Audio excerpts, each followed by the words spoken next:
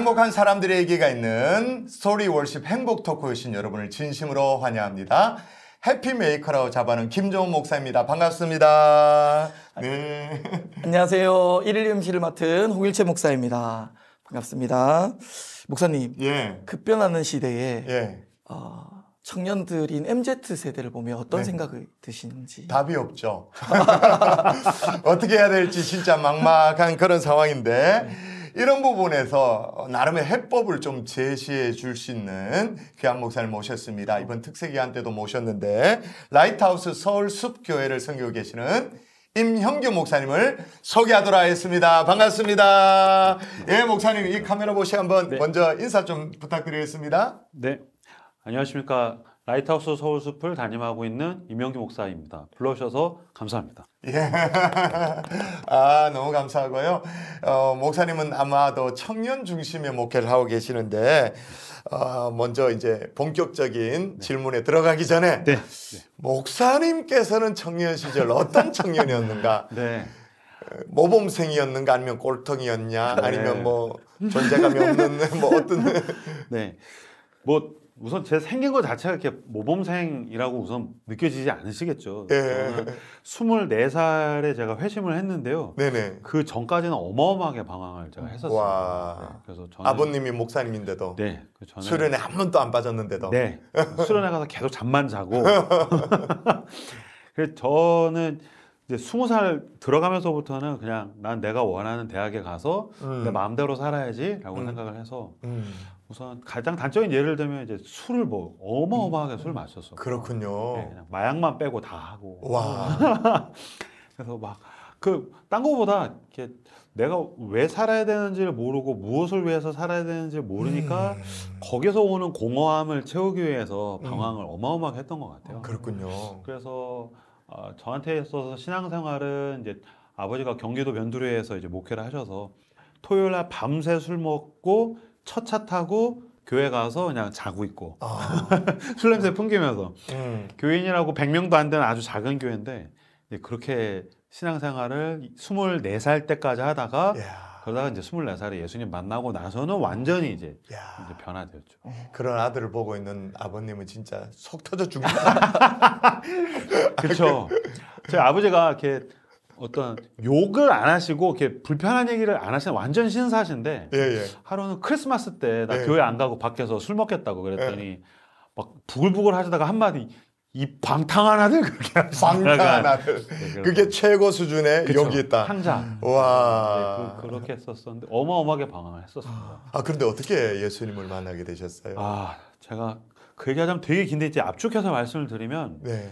제가 대학 때도 학교에서 너무 자유로운 영혼이라서 별명이 이제 보헤미안이었었어요. 아. 너무 자유로워서. 그래서 머리도 이렇게 기르게 하고 네. 뭐 말씀하셨잖아요. 그렇죠. 예. 그래서 막, 뭐, 막 학점 다 막 계속 F 맞고 있고 음. 뭐 취업에 대한 생각도 없고 음. 맨날 철학책이나 읽고 있고 음. 그러다가 다들 주변에서 군대를 안 갈 것 같다는 거예요. 어. 너무 자유로우니까. 어. 저도 당연히 아, 나 정도 자유로운 군대 안 가겠지 했는데 웬걸 영장에 날라오더라고요. 뭐 상관없죠, 그거는. 영혼이 자유로우냐 안 자유로운 상관없죠. 그건 그쵸. 가야, 가야 되는 거죠. 그래가지고 아 군대를 가야 되는구나 그랬는데 어. 두달 전에 입대를 앞두고 있는데 예. 밤새 술 먹고 그날도 주일날 이제 첫 차 타고 가서 택시에서 음. 교회 갑시다라고 하다가 음, 음. 교통사고를 제가 되게 크게 당했어요. 오. 와. 근데 이제 교통사고 당해서 MRI 찍었더니 MRI 찍어주면서 의사 선생님이 음. 원래도 디스크가 있고 이 허리도 조금 삐끗한 것 같으니까 음. 군대에 빠질 수 있을 거다. 이 MRI 가지고 가면 아. 전문 의사 선생님이 그렇게 하셨는데 음. 웬걸 군대 입대해서 병원 갔더니 가서 훈련 열심히 받으라는 거예요. 오. 그래서 아 나는 자유롭게 살려고 20대 초반에 몸부림을 쳤는데 내가 군대 가야 되나 그래서 그 주에 너무 화가 나서 어. 이제 처음 이제 하나님한테 어. 이제 어떤 면에서 이렇게 말을 건 거죠. 이렇게 진심으로.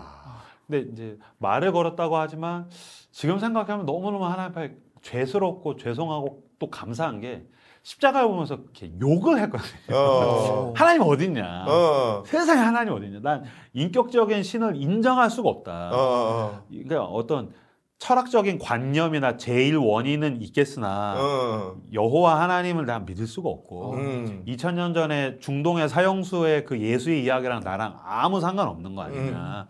나는 당신 믿을 수가 없으니까 음. 게다가 나는 왜 군대에 있어야 되는지 모르겠으니까 뭐 뭐라도 보여봐라. 어, 어. 그래서 막 욕을 막 십자가 보면서 하고 있는데 어. 그때 이제 음성이 들려가지고 아. 그때 그때 음성이 들려서 제가 어. 완전히 회심을 하게 됐습니다. 아, 와. 그래서 한 시간 동안 회개하고요. 예. 나왔더니 세상이 달라져 있더라고요. 아, 와. 그래서 새 하늘과 새 땅을 제가 그때부터 살았죠. 아, 야. 목, 목사님 약간 그래서 더 청소년이나 청년들의 마음이 더 있는 게 아닌가. 그런 것 같아요. 제가 20대 초반 때 네. 그리고 10대 때 방황을 해서 음.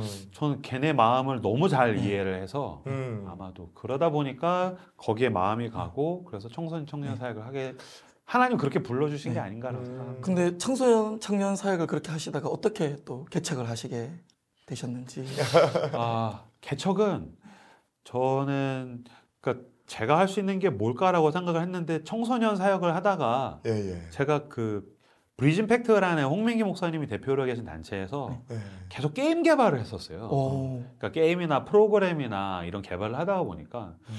제가 아이디어를 내는 거, 좀 재밌는 거를 만들어내는 거에 대해서 아, 좀 아이디어가 있구나, 어. 재능이 있구나. 음.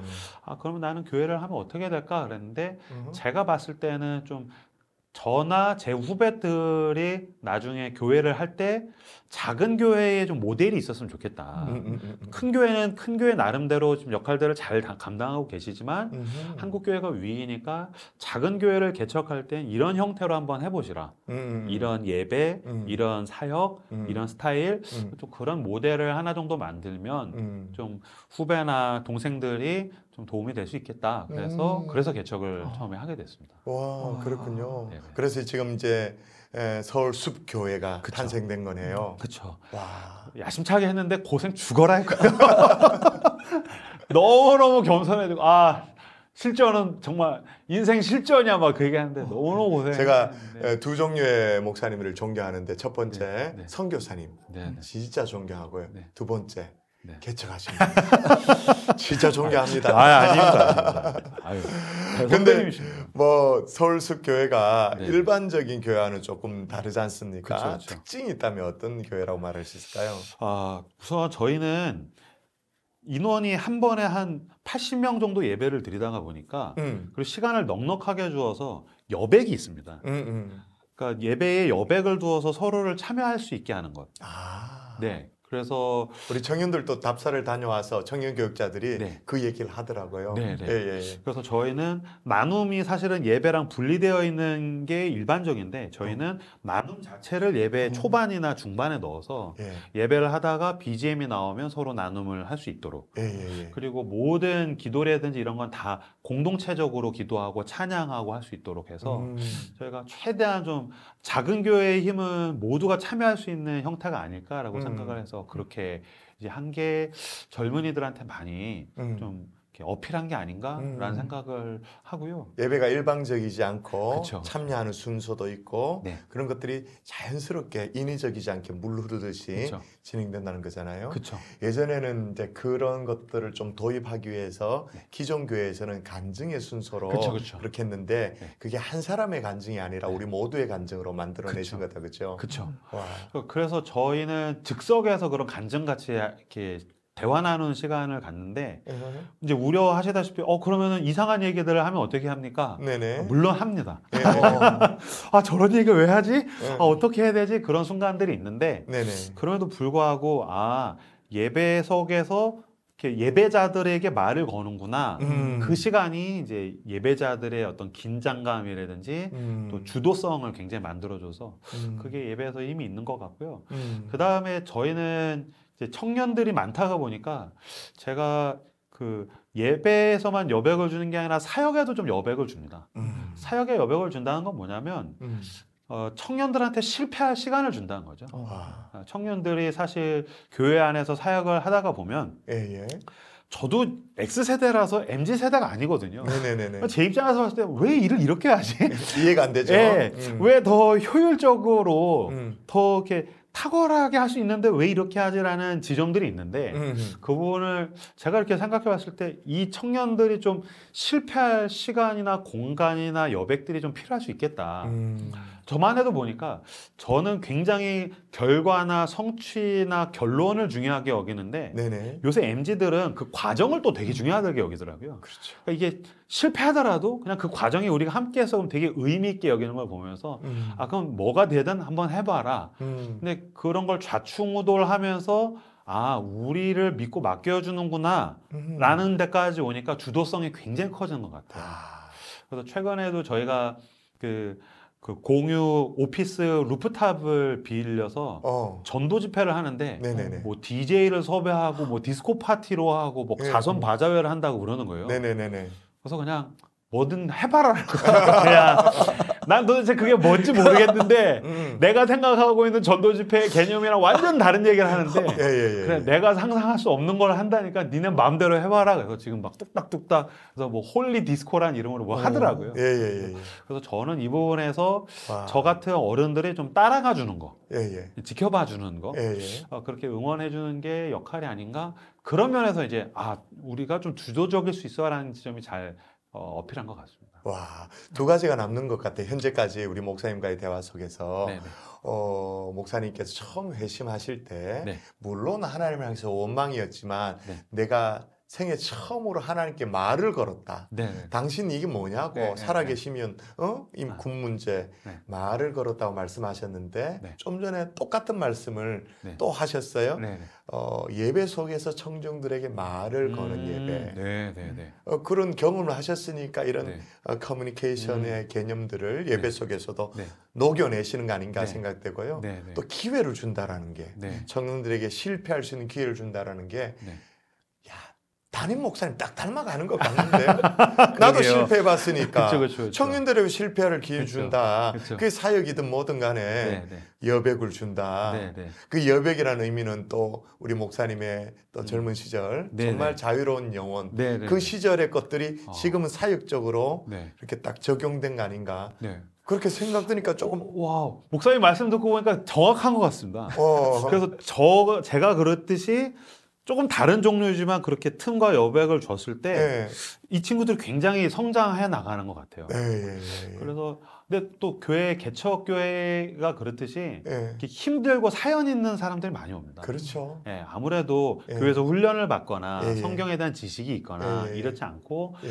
교회를 뭐 3년 만에 왔어요, 7년 만에 왔어요, 청소년 이후에 처음 왔어요. 음. 그리고 되게 막 힘든 상황에 있는 친구들이 많이 오는데 음. 그런 사람들이 함께 어울려서 아 나만 그런 게 아니구나. 음. 이게 교회 안에서 소통이 이루어지다 보니까 음. 막 제가 어떤 진리와 답을 가지고 이렇게 해라고 했었으면 그게 더 어려울 수 있을 텐데 네네. 아 우리가 같이 굴러갈 수 있구나. 음. 그런 가운데에서 막 작은 회복들이 모여서 서로의 회복과 dynamic들을 만들어내는 게 아닌가라는 음. 생각을 하게 됩니다. 그러니까 Lighthouse 서울숲 교회는 네. 임형규 목사님이 할 수 있는 교회. 그렇죠, 그렇죠. 김종훈이나 홍일체가 안 되는 교회.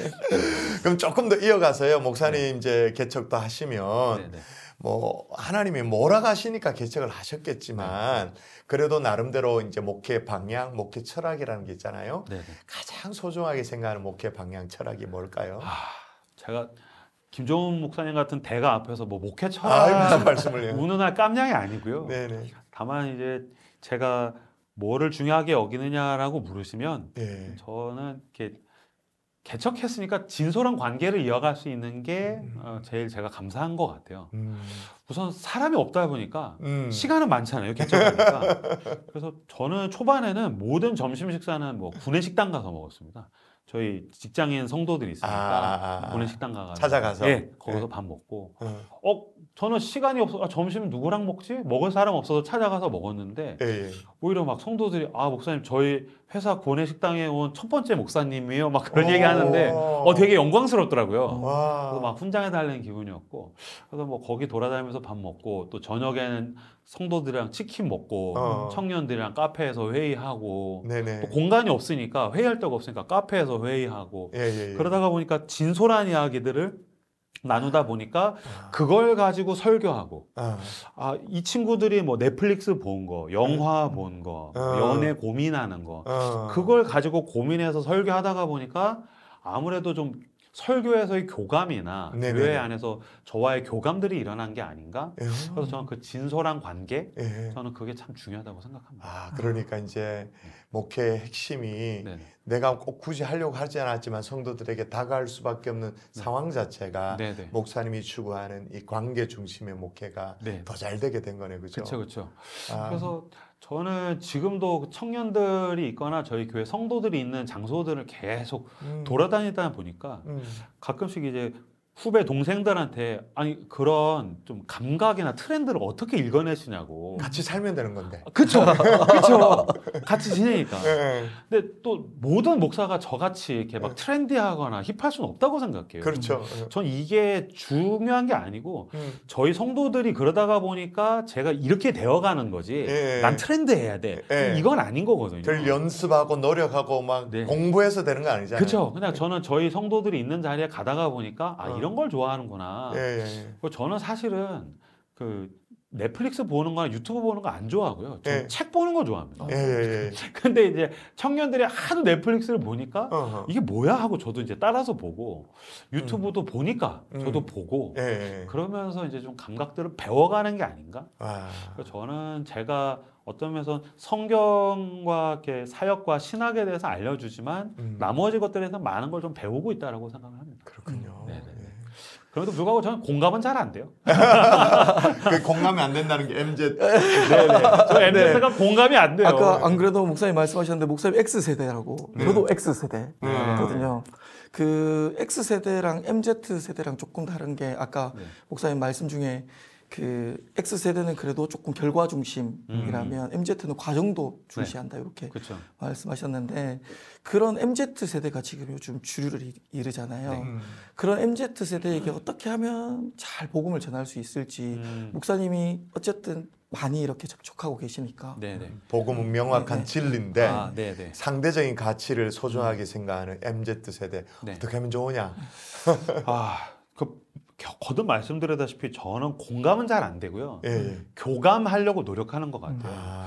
그러다 보니까 제 설교에 밥 먹었던 얘기, 성도랑 치킨 먹었던 얘기도 나오고, 음. 뭐 넷플릭스 본 얘기도 나오고, 음, 음. 뭐, 막 그런 얘기들 오히려 제가 저희 교회 성도들이랑 청년들한테 배웠던 얘기들로 출발을 하니까 좀 귀를 기울여 주는 것 같고요. 음. 그다음에 제 큰 관심사는 의미에 있습니다. 음. 사실은 어, 이 MZ 세대가 음. 저는 마냥 공감을 원한다고 생각하지는 않아요. 음. 오히려 저는 되게 많이 좀 혼내는 편이거든요. 어, 어. 근데 그걸 더 좋아해요. 어. 그러니까 이 친구들도 자기가 굳이, 굳이 누군가한테 위로를 받아야 되는 우쭈쭈의 대상이라고 생각하지는 않는 거죠. 어. 그러니까 오히려 내가 이 도시에서 어. 이 시대 속에서 왜 살아야 되는지에 대한 의미를 알고 싶은데 네네네. 오히려 막 너무 막 우쭈쭈 해주는 거 아닌가? 근데 어. 저는 막 혼내면서 어, 그래서 예를 들면 뭐 그런 거예요. 목사님 저뭐 전 너무 힘들어요. 그러면 아니야, 넌 힘들지 않아. 막 좀 그렇게 얘기하거든요. 야 힘든 사람이 세상에 얼마나 많은데 예. 힘든 사람을 돕는 사람을 삶을 살아야지 자식아. 그러면서 어. 뭐 선교 가라, 구제해라, 봉사해라. 음. 막 그런 얘기들을 하면서 의미에 대해서 좀 알려주려고 하니까 음. 거기서 많이 좀 임팩트가 일어나는 것 같아요. 음. 그걸 통해서 복음을 전하고 음. 뭐 교감하면서 복음을 전하고 음. 이 시대에서 왜 사는가에 대한 소명을 통해서 복음을 전하고 음. 뭐 그런 지점이 저희 교회에서 많이 이렇게 어필하는 게 아닌가라는 생각을 합니다. 음. 목사님 교회에서 목사님이 그렇게 하시는 방식들이 있다면 네. 음. 만약 기성교회에서 청년부 사역자들이나 네. 음. 아니면 기성교회에서 어른들이 MZ를 어떻게 품을 수 있을지 음. 그런 팁들을 조금 주신다면 아 우선 그건 아까 말씀드렸다시피 좀 여백을 주셔서 음. 기존 교회는 너무 훌륭하신 기성세대가 있다 보니까 음. 그 우산에 조금 청년들이 숨어져 있거나 가려져 있다라는 느낌들이 있어요. 음. 물론 경산중앙교회는 청년들이 굉장히 열정적이라서 음. 나을 수 있겠지만 음. 저희 교회만 해도 우산이 아예 없거든요. 음. 그러니까 이 친구들이 와서 그냥 생으로 비를 맞는데 어허. 어? 비를 맞아도 괜찮네.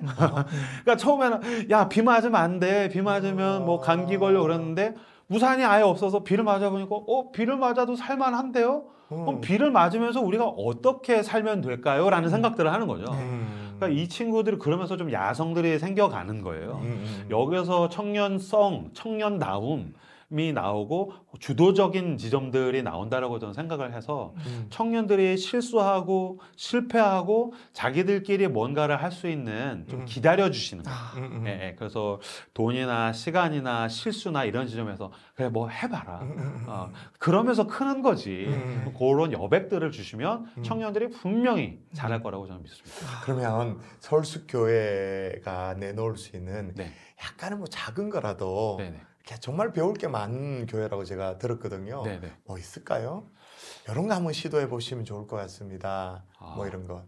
시도요. 네. 어, 저희는 근데 새로운 거는 거의 안 하는 것 같고요. 예, 예. 저희는 늘 일반 교회들이 하는 걸 하는데 포장지를 조금 다르게 하는 것그 같아요. 다른 표, 포장지 어떤 게 있을까요? 뭐 아까 예배 순서도 말씀하시고 그랬는데 뭐 예배에서는 우선 그리팅이라는 순서가 있습니다. 그리팅. 아, 그래서 그리팅 순서는 찬양하다가 중간에 BGM이 나오면 네. 서로 나눔을 해요. 예. 그래서 특히 이제 두 가지 질문인데 첫 번째는 어, 어떤 마음으로 예배 나오셨나요? 예, 예, 예. 그 그에게는 그냥 예배 나오지 마라. 아, 이제 물어보는 거죠. 아. 그 다음에 이제 두 번째는 설교랑 관련된 이제 질문에 대해서 어허. 질문을 하고 서로 나눔을 합니다. 그게 이제 설교가 있고 그 다음 아 그 전입니다. 그 전이죠. 네, 설교 전에 하고 예. 오히려 설교와 관련된 질문을 두 번째 나눔으로 하면 설교할 때 그 나눔을 가지고 예화로 얘기를 하죠. 아, 그러니까 이제 예화가 예배 자리에서 그 예화가 나오는 느낌 같은 게 있어서 음. 좀 공동체 성을 더 가지고 오는 게 아닌가라는 음. 생각을 하고요. 그다음에 저희는 계속해서 매달마다 봉사활동을 갑니다. 음. 그러니까 저희는 완전히 신박하고 새로운 거 거의 안 하고요. 음. 저희는 뭐 해외 선교 음, 음. 굉장히 힘써서 해외 선교 가고요. 음. 그다음에 구제와 봉사 활동을 또 되게 중요하게 여깁니다. 음, 음. 왜냐하면 저희가 아까 경산중앙교회도 앞에서 수화로 예배 드리시는 예, 예, 예. 그 장애인 예. 분들을 보면서 너무 마음이 뜨거웠었는데 네, 네, 네. 저희도 장애인들과 비장애인들이 함께 예배를 드리거든요. 예, 예. 그런 면에서 장애인이라든지 아니면 저희가 도시 선교를 표방하다 보니까 도시 안에서 소외되어 있는 예. 어떤 노숙자라든지 좀 어려움을 당하는 사람들한테 계속해서 돈과 시간을 가지고 이제 찾아가라고 음. 하고 있어요. 예.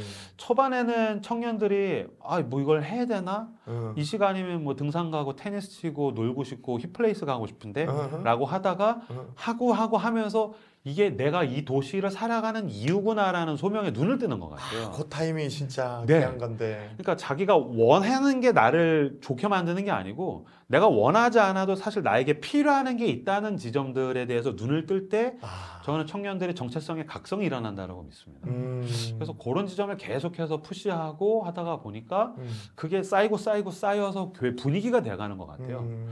그래서 저희는 그런 지점, 이렇게 뭐 사회 참여라든지 음. 뭐 장애인이라든지 복지라든지 구제나 봉사에 대해서 음. 되게 중요하게 여기는 것 같습니다. 야 청년들이 자기 각성이 일어나는 그렇죠. 그 타이밍, 네. 그, 고대, 거기까지 정말 우리가 잘 인도해주고 도와주고 해야 될 네네. 사명이 있죠, 그죠? 그래서 보니까 헌금도 음. 청년들이 평상시에 헌금을 이렇게 잘하는 편이 아닌데 네네네. 어, 뭐 그런 거 작년에 이제 동해에 불이 나서 네네네네. 그때 제가 이제 설교를 했었어요. 음, 음, 청년들한테 이제 내 집 마련이 꿈인 사람들이 남의 집 불났는데 어떻게 헌금을 안 할 수 있느냐. 음. 음. 어 남의 집 불나가지고서 집이 없는데 네. 헌금해라 그래서 헌금해가지고 헤비트트 가가지고 네. 집 짓고 음. 예, 네, 그 그런 거 굉장히 좋아하더라고요. 예, 예, 예. 여기에 이제 꿀팁을 하나를 더 드리자면 네네. 이 모든 행동들을 다 사진으로 찍어서 인스타그램에 올립니다. 아, 예, 예, 예. 예, 그러면은 이제 청년들이 아 내가 했던 게 인스타그램에 남았어. 어. 이걸 또 이제 되게 좋아합니다. 아, 네네. 그렇죠. 많이 배웠습니다. 감사합니다. 아무래도 목사님께서는 젊은이들과 함께 네. 이제 교감하고 함께 고민을 나누다 보면 예, 청년들의 고민은 언제나 이성 문제, 네. 결혼 뭐 이런 문제지 않습니까? 그렇죠, 그렇죠. 거기 앞서서 네. 목사님은 어떻게 사모님을 만나게 되셨는지 네. 아, 이 청년들이 보시면 그러니까 아 저 목사님 되게 트렌디하게 생겼는데 잔소리 엄청 하시네라고 느낄 수 있는데 저는 예수님 만나고 7년 동안 솔로였었어요. 어, 그래서 아, 내가 연애를 굳이 계속 해야 될 이유를 잘 모르겠더라고요. 네네네네. 무엇보다 예수님을 만나고 나서 제가 그 전에 너무 이렇게 자유롭고 막 방탕하게 살다가 보니까 음. 하나님 제 삶의 주인이 되어주세요. 특히 제 연애의 주인이 되어주세요라는 기도를 제가 했는데 와 연애의 와. 주인이 되어 주세요. 네, 연애의 주인이 되어주세요라는 기도를 했는데 하나님 그거 되게 기뻐하셨던 것 같아요. 아. 7년 동안 솔로로 지키셨어요, 저를. 그래서 7년간 쭉 솔로로 지내다가 그러다가 이제 제 아내를 공동체에서 그 예배 공동체에서 네네네. 보고서 첫눈에 반했습니다. 예, 예, 예. 근데 지금 봐도 제가 잘했다라고 생각했던 게 음.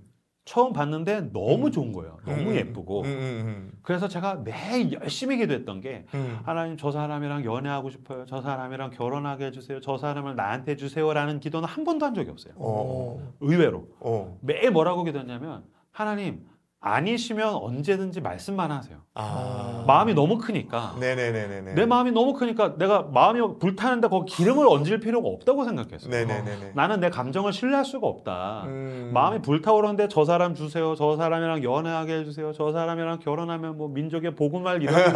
뭐 이런 얘기 할 필요가 없게 감정이 너무 크니까 어. 하나님 언제든지 아니시면 말씀만 하십시오. 네. 멈추겠습니다. 네네네. 그 기도를 계속 했는데 네. 하나님이 그 기도를 좀 기뻐하셨던 게 아닌가? 그러셨군요. 그래서 수많은 경쟁자를 제치고 아.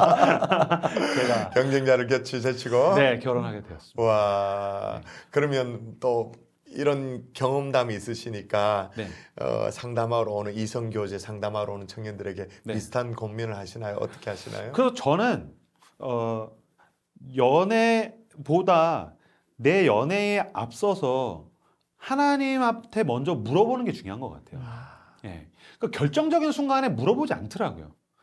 물론 물어보지 않아도 하나님이 가장 좋은 것을 주실 수 있죠. 네네. 그런 시간들과 예화와 케이스들이 음, 있지만 음. 그래도 불구하고 내가 그리스도인이고 음. 그리스도가 나의 주인이라고 한다면 음. 연애 전에 먼저 물어보는 것. 음. 그리고 계속해서 연애를 하면서 그 사람에 대해서 물어보는 것. 음. 하나님 내가 이 사람한테 이렇게 하는 거 어떠세요? 음. 하나님 이 사람이 나한테 이런데 하나님은 어떠세요? 음. 하나님을 계속해서 우리 가운데 참여시키는 것. 음. MZ는 참여를 좋아하는데 하나님을 참여시키셔야죠. 그렇죠? MZ는 참여와 경험을 중요하게 여기면 하나님을 참여시키셔서 그런 연애, 함께하는 연애를 하는 거전참 중요하다고 생각합니다. 결정적인 순간에는 정말 하나님을 배제하는 그런 젊은 세대를 보면 막 우라가 터지 않지 않지 저? 승질이 나가지고 너무 승질 나서 조심해. 저는 그렇죠. 어, 또 젊은이들 가운데 저도 그런 경우를 보게 되는데 너무 자기 연민에만 빠져 있는 네네네. 너무 자기 중심적인 네네. 신앙생활을 해도 네네. 또 교회 사역을 해도 네. 그런 경우를 보면 좀 이제 사역자로서 화가 나고 네. 왜 저럴까 싶을 때가 있잖아요. 네, 네. 그런 청년들을 만나면 네. 너무 막 이렇게 자기 뭐 연민에 그쵸, 너무. 빠져 있다. 어, 저는 힘들면 상처에 대해서는 치유를 받아야 된다라고 생각을 해요. 예. 그래도 불구하고 계속해서 치유 안에 머물러 있는 거는 저는 문제가 있다고 생각을 합니다. 치유 안에 머물러 네. 있는 것. 그러니까 계속해서 난 불쌍해, 난 불쌍해. 어, 그러니까 결국에 인생이라는 게 해석이기 때문에 어, 고통의 원인을 알 수가 없거든요. 어허. 그러면 이 고통을 하나님이 어떻게 쓰시길 원하는가 저는 그 목적을 알아야 된다고 생각해요. 음, 고통을 어떻게 쓰시는 그쵸. 목적. 나한테 왜 이 상처가 있지? 우리는 상처에 대한 원인을 알 수 없죠. 예. 그럼 이 상처를 하나님이 어떻게 쓰시기를 원하는지 목적을 알 수 있죠. 네네네. 그러니까 나는 그 고통과 상처에 대한 목적에 눈을 뜨는 순간 내 정체성의 각성이 일어난다고 생각해요. 아. 아, 그러면서 그 의미를 위해서 살 때에 치유가 일어나고 음. 의미를 위해서 살 때에 오히려 회복이 일어나고 음. 의미를 위해서 살 때의 말로 저는 가장 행복할 수 있다고 생각하거든요. 어. 저는 목사인데 아, 난 사역하느라 힘들어. 나는 어. 집에서 가족들이랑 시간도 못 보내고 어. 나 휴가 가고 싶어. 어. 계속 이 사람 저 사람 돌아가면서 나한테 맨날 힘들다는 얘기니까 난 맨날 힘들어. 어. 그러면 나만 생각하면 예, 예. 나도 계속 자기라는 어떤 면에서 그 자기 연민의 감옥일 수 있다고 생각하거든요. 예, 예. 근데 여러분들도 생각해 보시면 우리가 샤워할 때 예, 예. 굳이 안 닦는데 씻고 나면 깨끗해지는 부위가 있죠. 예. 손톱입니다. 오. 왜냐면 손톱은 머리 감으면 손톱은 그냥 깨끗해져요. 어. 그러니까 아 나 손톱 씻어야지. 내 손톱은 너무 더러워. 손톱 씻- 씻을 필요 없어. 그냥 머리 감고 목욕을 잘 하면 어. 손이랑 손톱은 깨끗해지는 거거든요. 어. 마찬가지로 저는 제 삶이 손톱 같은 면이 있다고 생각해요. 의미 있는 지점을 향해서 누군가를 도와주려고 하고 섬기려고 하고 이 고통을 누군가와 치유하 상처 입은 치유자로 살려고 할 때 내가 덩달아 치유되고 행복해지는 지점이 있지 않나. 음. 그래서 여러분의 삶에 손톱 같은 면들이 음. 좀 필요하겠다. 음. 자기 연면을 벗어나시기를 바랍니다. 와. 와. 오늘 우리 청년들 또 MZ 세대에게 또 권면의 말씀을 해주셨는데 네. 혹시 네. 정말로 우리 청소년들이든 또 젊은이들이든 네. 마지막으로 정말 도전하고 싶은 그런 내용이 있으면 한 말씀해 주시죠. 네. 어, 아무리 대단한 비전을 가지고 있어도 음. 제가 교회 안에서 이런 사람 저런 사람 보니까 모든 사람은 다 별 볼 일 없는 것 같은 하루를 살더라고요. 하루라는 시간도 동일하고 사실 별 볼 일 없는 밥을 먹고 그냥 그냥 그런 시간을 살아요. 그 시간을 하루를 하나님과 함께 잘 살아내는 법. 그걸 배웠으면 좋겠어요. 하나님이 나에게 오늘 하루를 주셨으니까 이 충실하게 하루를 사는 거지 누가 잘 된다고 막 열등감을 가질 이유도 없고 누구보다 막 잘 된다고 막 우월감을 가질 이유도 없이 나의 오늘 주어진 하루를 충실하게 사는 것, 의미 있게 사는 것. 그러다가 보면 그 하루를 모아서 하나님께서 당신의 삶을 별처럼 빛나게 하실 줄로 믿습니다. 아멘. 야, 이제 마지막 공식 질문. 네. 행복 토크의 공식 질문입니다. 네. 임형규 목사님에게 있어서 행복이란? 저는 저에게 주어진 소명을 가지고 사는 것입니다. 야, 저 존재만으로 아름답다, 존재만으로 소중하다라는 이야기 당연하죠. 네. 당신 존재만으로 소중합니다.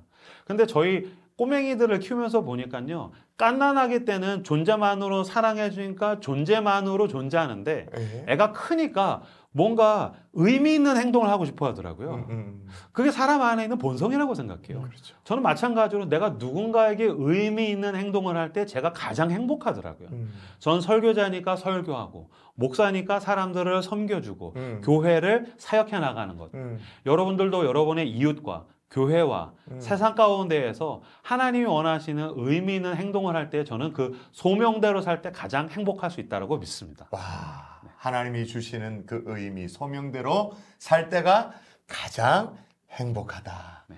야, 오늘 정말 귀한 목사님과 행복 토크의 시간을 가졌습니다. 여러분 어떠세요? 조금 여러분의 자녀 세대, 젊은이 세대들이 이해가 되십니까? 여전히 이해되지 않더라도 그네들은 살아갑니다. 하나님의 품 안에서 살아가니까 우리가 함께 조금만 더 기회를 주고 또 기다려주는 여유를 가지면 참 좋겠다 생각됩니다. 이제 마지막으로 인사할 텐데 목사님 네. 손 앞으로 내밀 고요. 제가 하나 둘 셋 하면 행복하세요. 네. 그렇게 인사하면 돼요. 하나 둘 셋 행복하세요.